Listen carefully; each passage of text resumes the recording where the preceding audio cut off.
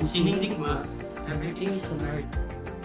We value every art with all of our hearts. Everything that you imagine can turn into art. Expressing thoughts and ideas through art is one of our strengths. Murals, portrait, logo design, tattoo, and other art forms make us artists alive.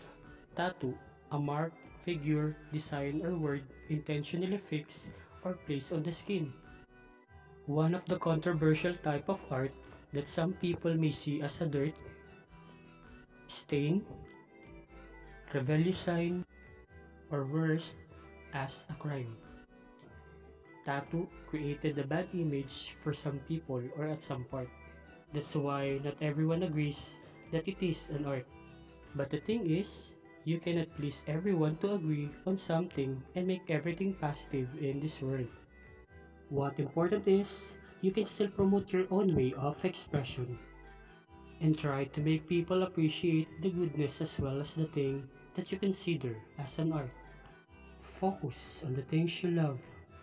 Tattoo is not a crime. Tattoo is an art.